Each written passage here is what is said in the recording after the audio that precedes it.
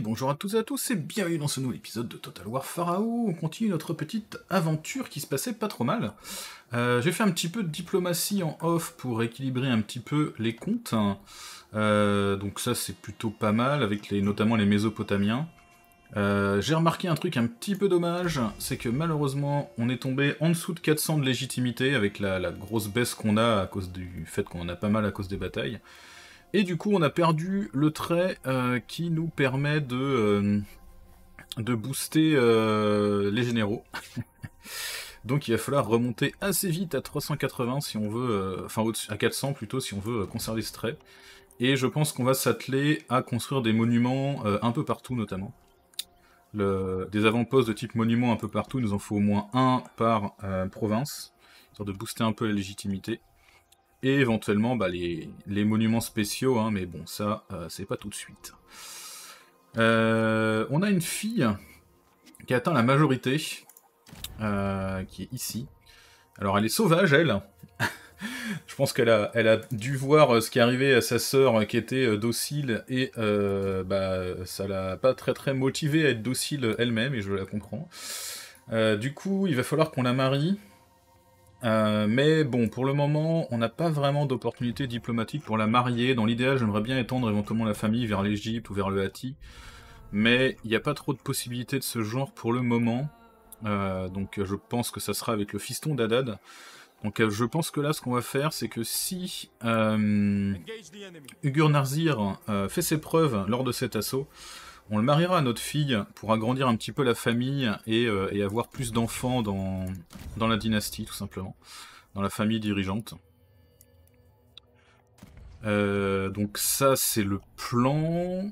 Et j'aimerais bien qu'on en termine assez rapidement avec cette zone-là. Donc ce que j'ai décidé, c'est je vais pas attendre un tour de plus ici. On est déjà plutôt bien, euh, plutôt bien reconstitué. Donc on va essayer d'aller déclencher l'embuscade. Même s'il arrive à nous prendre en embuscade, euh, on a nos chances, je pense, parce qu'on a quand même des troupes relativement euh, expérimentées et efficaces, et un peu de cavalerie en plus. Donc on va essayer de déclencher l'embuscade. il doit être à peu près par là. Et c'est un échec de l'embuscade, parfait. Votre armée a repéré une force ennemie nullement découragée. L'ennemi se déplace afin d'intercepter. Ok, alors il a quoi? Ok, il a de l'avant-garde, quand même pas mal d'avant-garde avec une bonne vitesse, donc en embuscade, il a quand même pas mal de troupes rapides en embuscade, il aurait pu essayer de nous charger euh, rapidement. Quelques tireurs, il a un archer vétéran mais il n'a pas de frondeur vétéran. Et il a quand même quelques combattants un peu plus lourds. Je pense que ça devrait pas trop poser de problème, je vais sauvegarder en cas de crash, et c'est parti.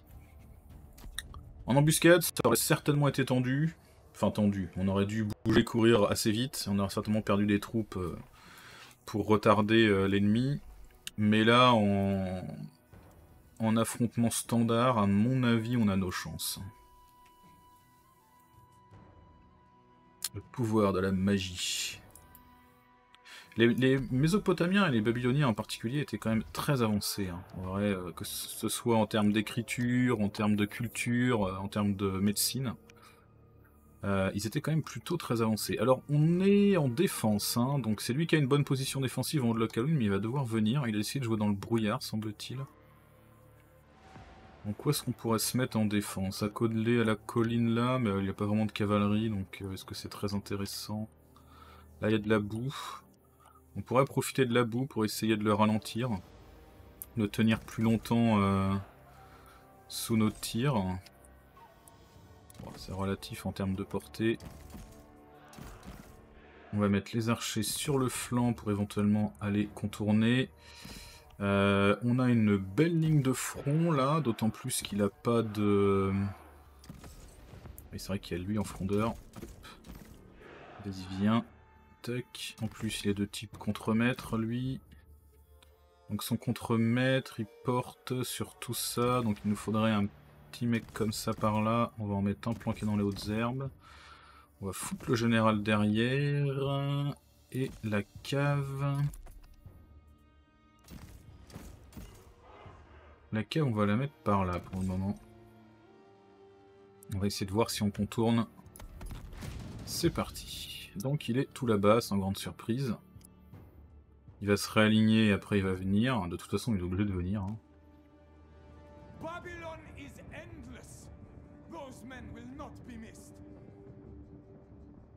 Il y a quelques mecs avec des boucliers, mais la plupart de ces troupes n'ont pas de bouclier, donc c'est plutôt pas mal. Nous aussi, je pense qu'on va se réangler du coup. Pour euh, tourner autour du de la boule. Hein. Vous tous, mettez-vous juste devant, un petit peu plus devant. On va mettre un conscrit là, un autre euh, sur ce flanc pour préparer une charge éventuelle. Le général par là. Euh, la cavalerie, euh, on va l'emmener tout là-bas. On est en train de courir. J'ai fait courir nos, nos, tireurs pour qu'ils se mettent plus vite en position. Il va falloir qu'on fasse courir tout le monde. C'est parti. Mine de rien, il dévale bien la pente là. Hein. Donc il va rentrer dans la boue avec ses avant-gardes moyens. Si on prend un mec moyen. Vitesse moins 20%, défense en mêlée. Ah, il y a un malus de défense en mêlée, ça pourrait presque avoir le coup qu'on s'approche, mais c'est un peu tard. On va pouvoir commencer à tirer dans pas longtemps.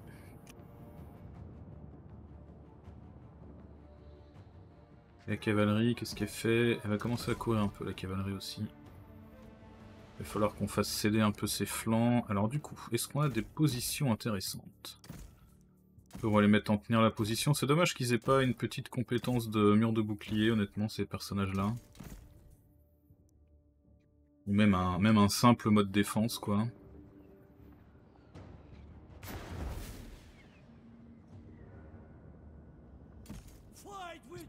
Ah merde, t'étais pas arrivé. Euh, bah cours.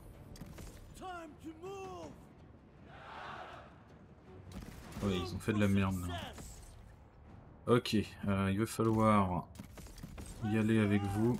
Vous pareil. Il faut tirer sur ces gens du coup. Ça se passe comment? Ici. Il y a pas mal de monde qui est en train de contourner. On va envoyer le général. Toi, tu es en train de faire, t'es un peu en train de faire nimp, mais bon, il y a une grosse ligne de front, donc bon, faut faire avec. On va demander au frondeur de tirer en priorité, non pas sur lui, sur les archers vétérans là. Les trois frondeurs, hop. Parce qu'ici, alors ici c'est pas mal parce que du coup c'est le, c'est le mec de qualité qu'on a là replacer vite fait. Mais non, putain, pas comme ça. Sois pas con. Enlève ça. Replacez-vous comme ça. Tu vas te prendre une charge de flanc, espèce d'abruti. Euh, ok, alors du coup, là, on est en train de faire n'importe quoi. On va passer en mode escarmouche. Et avec la cave, par contre, dans la boue, on est ralenti avec la cave. Ouais, on est pas mal ralenti avec la cave. Hein. Va falloir qu'on contourne vite fait ça. Là, on va courir après ces gens. Et encore. On va commencer à se rabattre pour les prendre de flanc. Ici, du coup, il a encaissé l'assaut. On va balancer le général dans la mêlée. Les archers, ils vont tirer sur ça. Et la cavalerie, on va la faire charger par là. Ils ont réussi à attraper un chariot là.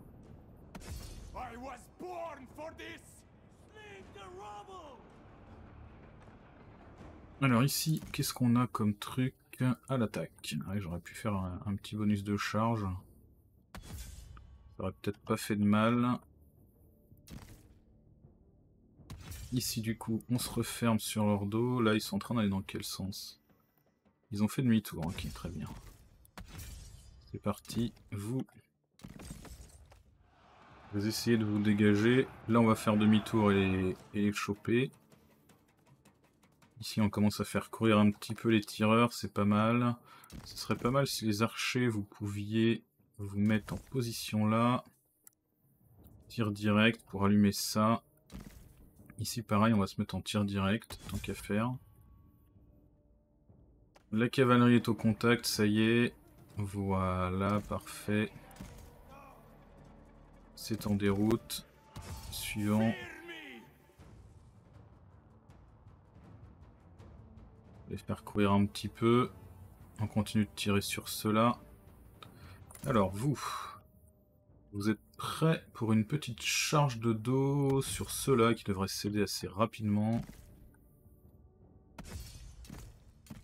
Vous, faufilez-vous par là, tant qu'à faire. Euh, putain, qu'est-ce qu'ils foutent Vous êtes censé être en escarmouche. Quand vous êtes comme ça, en tir euh, comme ça, vous vous mettez plus en escarmouche. Bah, c'est très très ballot ça. Il va falloir courir. Bon, ils ont encore de la vitesse, ça va. Ici, ça donne quoi? Ça donne que il faut charger là. On a fait fuir ça. Là, on va commencer à tirer dans le dos de ces gens. Ici, on tire dans le dos de ces gens, c'est parfait. Là, on s'est refermé sur eux. Il va falloir, pareil, qu'on commence à, euh, je pense, se replacer là avec nos frondeurs. Dans l'optique de commencer à nettoyer un peu cette zone. Là, on va s'occuper des archers. Qui devraient céder assez vite. J'ai l'impression qu'ils sont déjà dans le mal. Ah là ils ont décidé de reculer. Ok très bien. Et maintenant la charge de dos. Ici pareil. Est-ce qu'on a un petit à l'attaque de recharger? Non. Par contre on peut euh, faire tomber un peu le moral. Alors on n'était pas en gros bloc mais ça suffit quand même en termes d'impact. Vous, chargez par là. Chargez par là. Allez, ici on passe en tir direct. Avoinez-moi ça. Tir direct. Avoinez-moi ça. Vous, vous courez par là. Ici, la charge qui fait carrément le café. Le général est en train de souffrir sa mère par contre. Ici, il va être temps de commencer à s'occuper de ça. Là, changer de direction tirer là-dessus. Euh. La victoire vous tend les bras. On va désactiver le mode escarmouche, on va commencer à se déplacer là. Ici, on va commencer à avoiner, non, sur truc là plutôt. Alors, la cavalerie est de nouveau en forme. Reculer ici. On va courir là.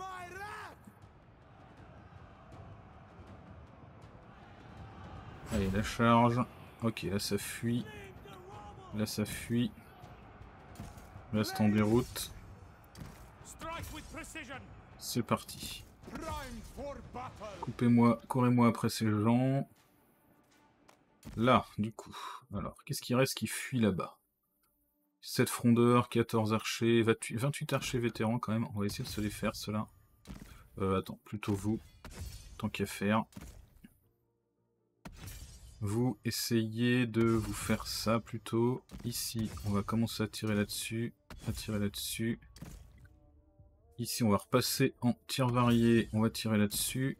Toc, la charge, la charge. Le général, là, il a souffert, mais il a survécu, le fiston, là, mais il a souffert, hein, purée. Ça pique, hein. Deux avant-gardes, on s'en fout un peu. On va tirer, passer en tir varié, tirer, vous, vous essayez de buter le plus possible ça.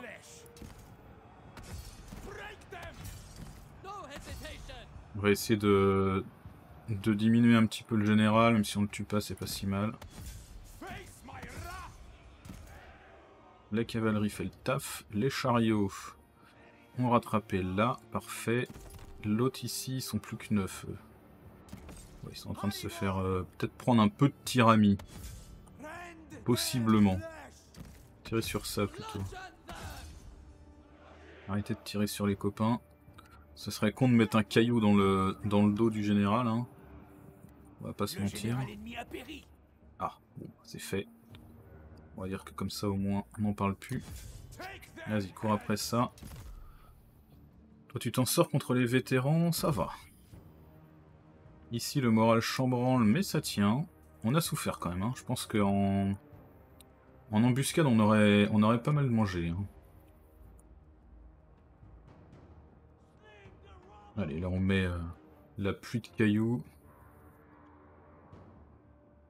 Qu'est-ce qu'il lui reste? Quelques unités qui s'enfuient à droite à gauche, 8 ici, 12 là, 5 là. Allez. On s'arrête là pour cette bataille, une belle bataille.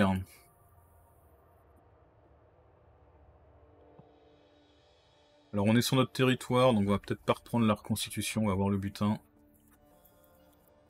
De toute façon, il faut qu'on les poursuive probablement, et après il faut qu'on soit... Bon, il reste plus rien. Restant 78, ça va. Ça va, ça va. 275 morts, 156 morts.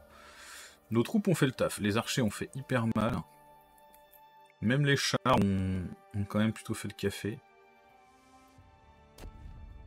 J'avoue que sur le flanc gauche, le général et l'unité d'élite, là, ils, ont eu du mal. Hein. Ils ont tenu la ligne, mais euh, ça leur a coûté cher, quoi. Ah, ah, du bronze, c'est pas mal. 8%, est-ce qu'on prend 8% Donc, on prend le bronze. On va les poursuivre de toute façon pour les finir.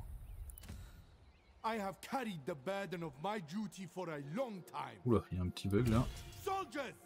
Petit bug visuel, il n'y a plus de général. On est d'accord que nos 9 cavaliers ne meurent pas. On va se la faire en auto.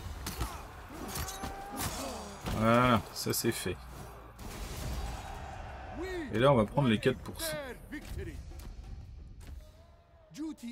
Et du coup, ce qui serait pas mal, c'est de réussir... Alors déjà, on va prendre un petit bonus de reconstitution fort bienvenu. Et je pense qu'on va se mettre en marche forcée pour aller jusque dans la ville. Et reconstituer un peu plus. Voilà on se reconstitue un petit peu plus dans la ville pendant un tour et après on peut progresser. Donc là du coup lui, il n'existe plus. Hein. Il serait prêt à être vassalisé, mais pas être confédéré, et nous on veut en finir avec lui. Donc, pour le moment, on va aller lui marcher dessus. On est en train de construire Matkaku, parfait, on a des avant-postes potentiels, mais rien de fou. Donc sur ce flanc, c'est fait. Qu'est-ce qui se passe? Ah, c'était le roi des lames qu'on a buté. Et on a gagné une matraque. Excellent. Qu'est-ce que ça fait de beau, ça La matraque. Brise armure pour les gardes du corps, attaque en mêlée, létalité en combat rapproché, pas mal. On diminue beaucoup nos dégâts, par contre. On va peut-être pouvoir mettre ça à genre toi. Une petite matraque. En lourd, là. Très bien. Ici, il fallait qu'on attende un tour encore ou pas? Je sais plus. On va vérifier. Ouais, il fallait qu'on attende un tour. Donc on attend un tour, pas de souci. Euh, tac, tac, tac. Toi, t'as fait le taf. Toi, bah tu pouvais plus rien faire. Et toi, pareil, il fallait que t'attendes un tour, je crois. Euh, peut-être même un peu plus qu'un tour. Donc pas de souci. Lui, on l'avait ramené là dans l'optique de potentiellement pouvoir acheter de la cavalerie, euh, de notre euh, euh, vassal slash fils. Maintenant qu'on a les 60. Cela étant, si jamais ça marche pas, bah ça fait chier on valide parce qu'il a disparu. Si jamais là on, perd la... Il recrève parce qu'il refait de la merde, déjà ce sera notre fils donc c'est dommage. Et en plus, euh, on sera niqué. Alors on va faire un tour. Ici on a bien un monument. Ici on a un monument. Ici on n'a pas de monument mais à la rigueur vu la zone c'est légite. Ici on a un monument. Ici on n'a pas de monument mais pareil vu la zone c'est légite. Ici, idem. Ici, ça pourrait le faire, on a un monument. Ok, parfait. Alors ici, Pachim est quand même un peu sécurisé maintenant. Donc je pense qu'on va lancer un monument et on va même le construire instantanément. Et est-ce qu'on fait un poste de passage de l'autre côté? Bon, c'est peut-être pas la priorité, parce que de toute façon on va encore euh, raser des trucs. Ici on fera un temple probablement. Ici, on a un monument. Ici, on a un monument. À Babylone, on n'a pas de monument, je pense. Est-ce qu'on veut détruire le...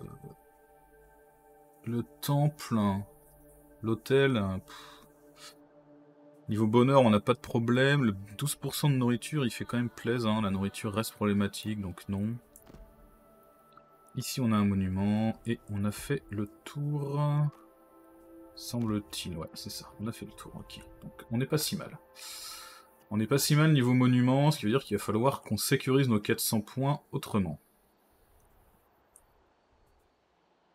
Euh, qu'est-ce qui nous reste comme action? Alors, on a un échange avec les Ougaroutes qu'on ne change pas, et le nord de l'Elam, alors en vrai, est-ce qu'il lui reste des forces? Il lui reste rien, donc on va même commencer à investir, je pense, ici dans les avant-postes. Ici, on va faire un temple d'Ishtar, hein, puisqu'on a besoin d'Ishtar. 14, attends, c'est tellement pas cher de construire, quoi. Et là, on en a déjà un, truc comme ça. Est-ce qu'on fait un truc de défense beauf? On va faire un comptoir commercial ici. On va pas le construire tout de suite, c'est pas une priorité. ici, par contre, on va faire un point de passage, un poste de passage. Notre ambition, c'était... Ah oui, il fallait les détruire ou les confédérer. a raison de plus de pas faire de paix. On passe le tour. C'est parti.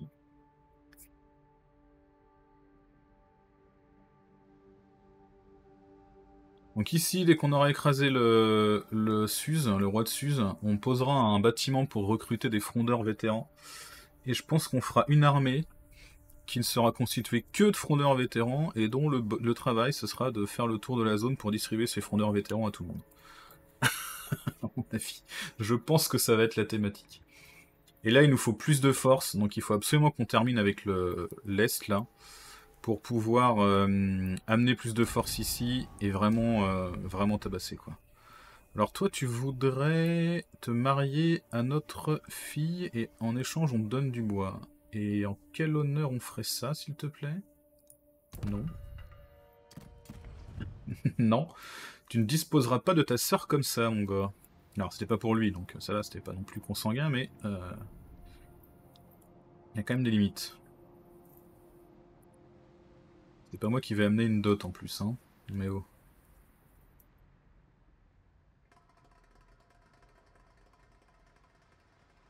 Bon, là on va voir les petits mouvements habituels de nos euh, presque vassaux, on pourrait dire.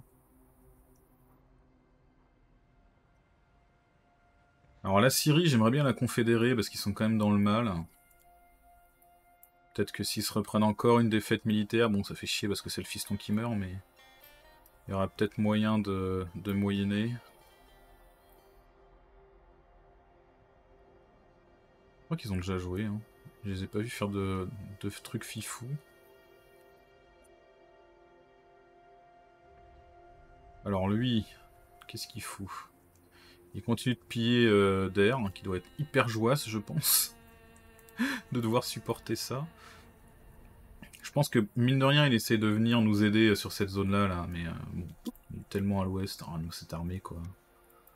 Faut arrêter un peu, quoi.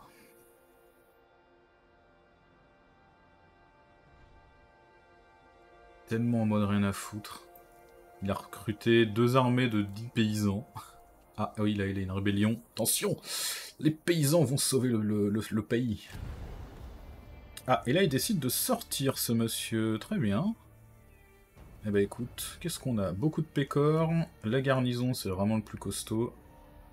Ah, il a pas mal de cavalerie, hein. C'est quand même du tiers 3, cela. Ils ont la formation de cavalerie. Il a des archers acadiens en armure. la garnison, elle est quand même très énervée. Hein. L'armée, c'est que dalle, mais la garnison est hyper énervée. Ok. C'est parti, on va la faire. De toute façon, si on la fait pas, on décède. Et ce n'est pas vraiment un sujet.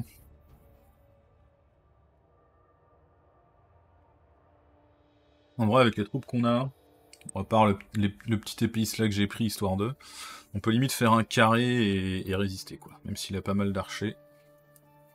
Faut qu'on voit d'où viennent les renforts. S'ils sont directement sur le champ de bataille ou pas. Ok, dommage, ils arrivent vraiment dans le dos, donc il va les attendre. En plus, il a une bonne position, là. On a une position pas trop dégueu non plus. Ici. Bon, il y a une forêt là. Mais ça peut permettre de neutraliser en bonne partie la cavalerie. Surtout qu'il y a de la falaise derrière. Hmm, ouais, c'est pas inintéressant.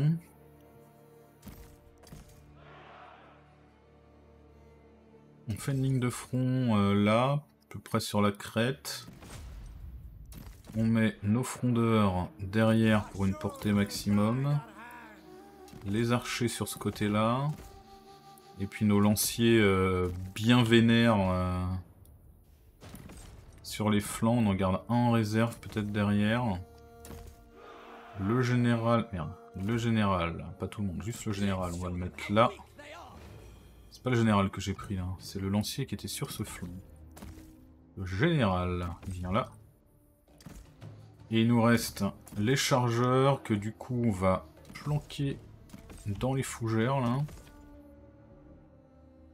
Pour tenter éventuellement des, mouvements de flanc, on va voir. On va passer en vitesse 3 parce qu'il va attendre ses renforts, se reformer, avancer. Ces archers sont de qualité et on n'a aucun, euh, aucune cavalerie. Hein. C'est ça qui va être, je pense, problématique. Le plus problématique. Mais on a une position pas dégueulasse. Et on a quand même un avantage de portée avec les... avec nos frondeurs. Si là où on s'est placé, on a quasiment la même portée. Surveiller le flanc, hein, mais... Parce qu'avec la forêt, on perd un peu en visibilité. Mais bon, s'ils tentent de nous contourner avec de la cave en faisant vraiment un gros tour, on a notre cavalerie, notre euh, nos lanciers d'élite là, qui vont les défoncer.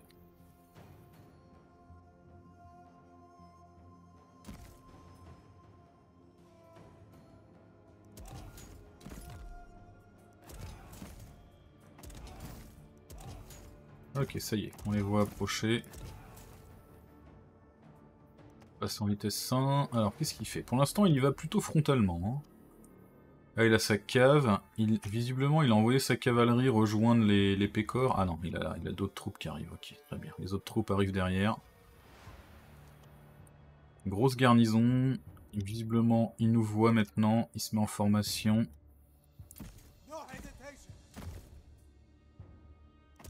On va se mettre en mode défense ici pour euh, encaisser les éventuels tirs. Même si ça donne de la défense en mêlée.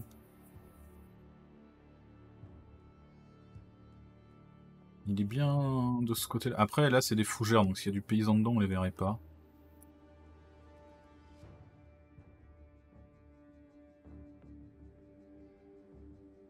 Non, mais ça va être compliqué quand même. Hein. Il y a tellement d'archers, puis c'est des archers en armure en plus. C'est-à-dire que même si nos frondeurs sont efficaces, il va falloir euh, leur tirer dessus. Pour péter les armures avant de commencer à vraiment faire du dégât. Alors si on avait de l'artillerie, ce serait tellement jouissif là. une petite boule de feu là. Un petit éclair euh, qui tombe du ciel là. Et bim, on parle plus.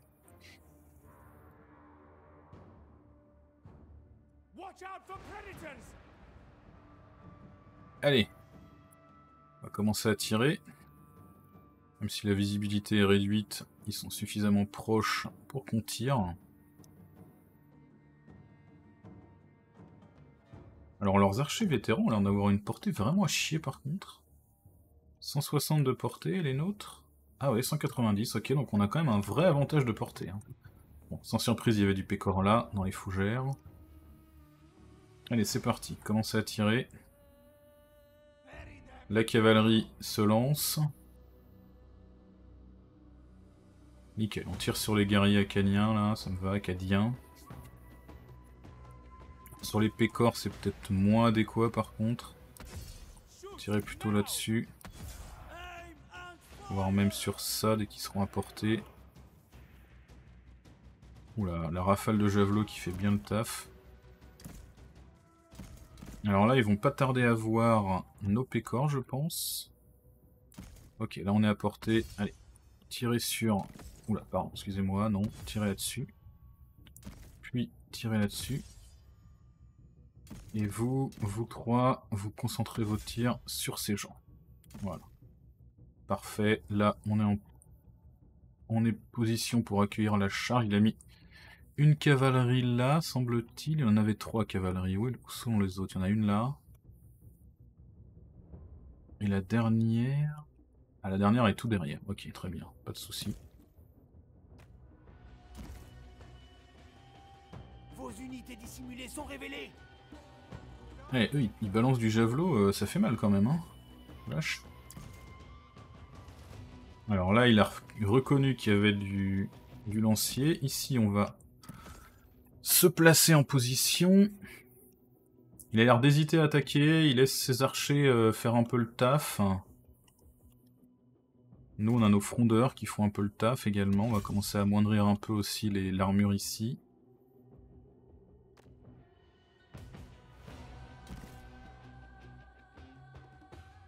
Alors avec sa cavalerie, je sais pas ce qu'il fout. Là, il est en train de tenter un, pseudo-contournement, on va dire. Ça, c'est du lancier, hein, donc ils sont quand même très efficaces contre la cavalerie. Ok, là c'est en déroute. Excellent.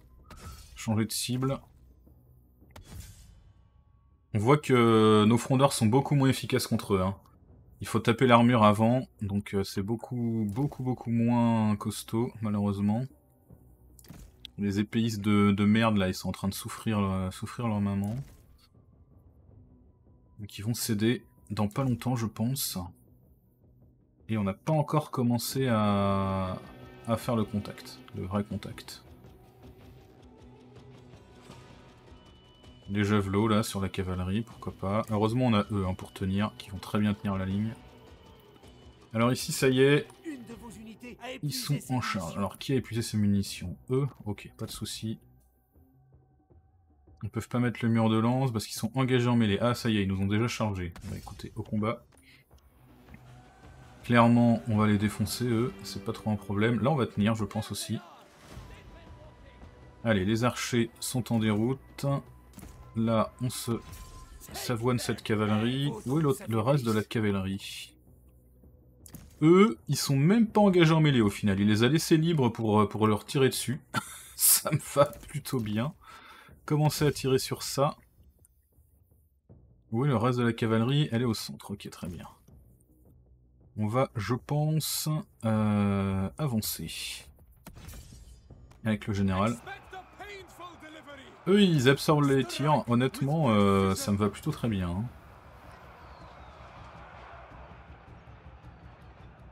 Là, la cavalerie va céder. Parfait. En avant. On va se préparer à aller dans leur dos. Les archers, ils sont en déroute. Ça, c'est vraiment très très excellent. Ce qui veut dire que vous, vous pouvez commencer à avancer. Vous et vous, vous pouvez commencer à courir par là. Là, la cavalerie va partir en déroute, les pécores, ça va pas tarder. L'idéal, ce serait de réussir à s'infiltrer un petit peu. Donc vous, avancez là, avancez là. Vous ici, vous ici. On va passer par ce trou pour essayer d'aller dans leur dos. Alors faut faire gaffe parce que la cavalerie va probablement revenir hein, à un moment ou à un autre. Pareil pour les archers. Alors vous, vous allez charger là. Vous, vous vous mettez en tir direct ici. On va commencer à avoiner dans le dos du général. Toi par là, toi par là, vous ici. Alors là, il a, il a décidé de prendre l'initiative en attaquant. Pourquoi pas. La, la stratégie peut s'entendre. Allez, ici, c'est parti. Des tirs directs. Vous, vous allez là et là. Il est en train d'essayer de sortir ses pécores pour euh, faire des trucs. Mais ça, ne servira à rien. Juste faire gaffe. Ça c'est en déroute complète. Ça c'est pas en déroute complète. Ça c'est pas en déroute complète non plus. Eux ils sont quasiment sortis de la map. Là ils sont en train de, continuer de tenir. Eux sont considérés comme en train de perdre, mais je pense qu'ils ont encore, euh, encore du potentiel de tenir. On va essayer de se concentrer sur, euh, sur cet endroit, parce que là c'est dur à faire tomber en fait. Il y a des guerriers de tier 3 et le général. Donc on va les amoindrir avec les, les frondeurs dans le dos. Mais c'est sur ces flancs-là qu'il faut qu'on gagne en premier. Et on va le faire en chargeant dans leur dos.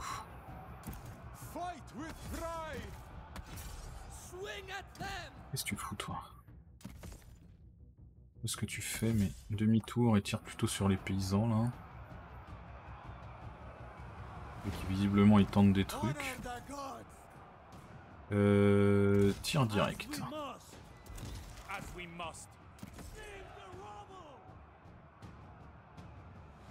Il est pas sorti de la map lui, finalement. Ça c'est malinche. Ok, là du coup c'est bon. Remets-toi à tirer dans le dos de là. Essaye de tirer sur le général. Alors ici, du coup, comment ça se passe? La cavalerie est en déroute complète, il reste des pécores qui tentent de faire je ne sais quoi, de se reculer. Ici, on va se placer. Ça commence à fuir un peu face à la garde royale. C'est parti.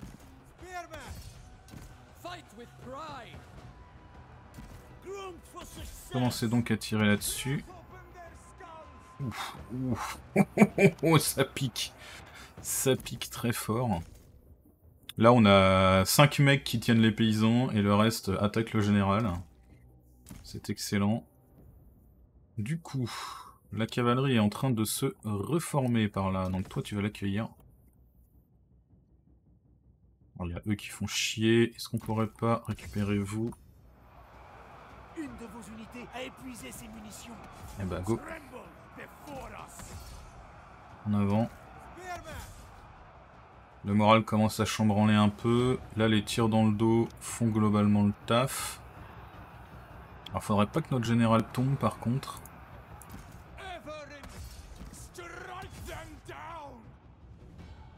Ok, la cavalerie est en déroute.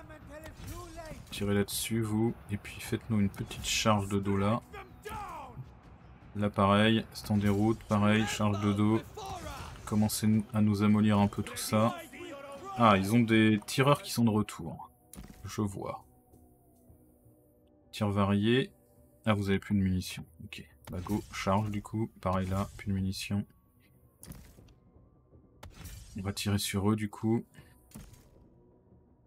Là. Tir direct. Tirer sur ça. Tout ça. Ouais, ici c'est un peu compliqué. Ok, parfait. Le général est en déroute là. Ok, c'est la grosse déroute. Ça y est. C'est gagné. Malheureusement, on pourra pas trop trop les poursuivre. On va quand même essayer un peu.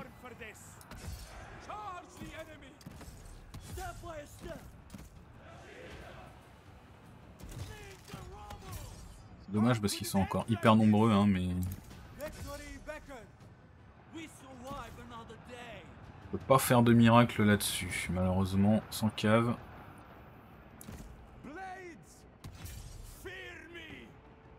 Essayez donc de diminuer un peu plus ce gros tas là. On va tenter. Là, ça serait bien d'arrêter parce que si le général tombe, ça nous arrange pas plus que ça.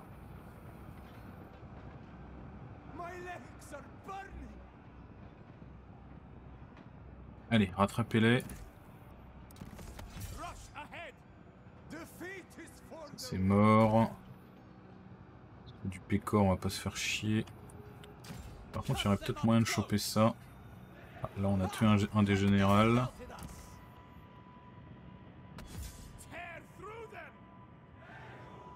Là, il en reste des tirs. Ouais, c'est pas ouf ça.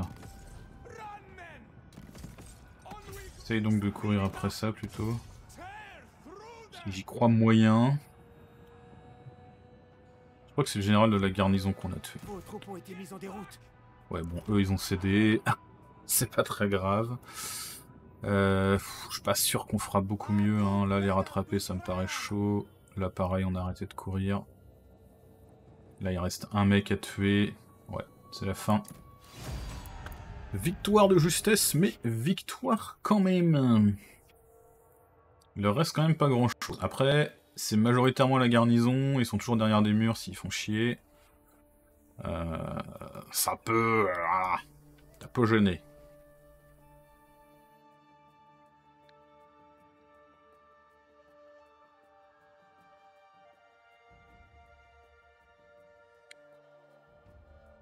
Il nous pas mal de troupes quand même. On a eu pas mal de pertes, mais bon, ça va. Les, lanciers royaux, hein, comme prévu, qui font un gros taf.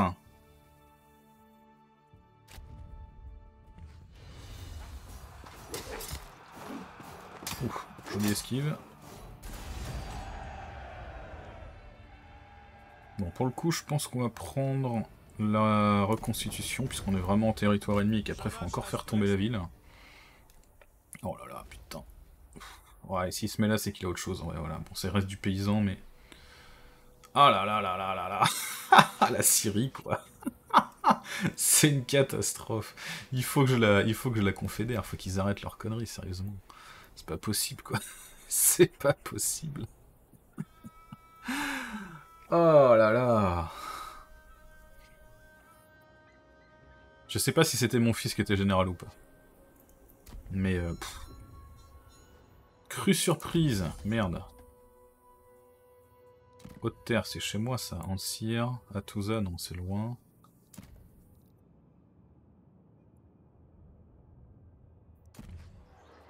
Ouais, là, ouais, là on voit les petites... Euh, d'habitude, c'est des petits rayons de soleil, et là... Euh, ah putain, la vache Ah oui, ça détruit carrément, quoi. Euh, ok, on a terminé notre tech. Nouveau roi de l'Elan. Endommageons des structures. Ah ouais. Oh la vache Ah ouais, quand il y a de la catastrophe, ça déconne pas, quoi. Autant les bénédictions, c'est des bonus qui sont discutables, mais là, on a trois provinces majeures qui ont pris hyper cher, quoi. Bon, ça nous coûte rien à réparer, mais euh, ils ont pris hyper cher, quoi. Très très bien. Euh, ok, du coup, on va arrêter là cet épisode. De toute façon, il est suffisamment long. J'espère qu'il vous a plu. N'hésitez pas à laisser un petit commentaire, à me dire ce que vous en avez pensé. Et on se dit à très vite pour la suite. Ciao ciao tout le monde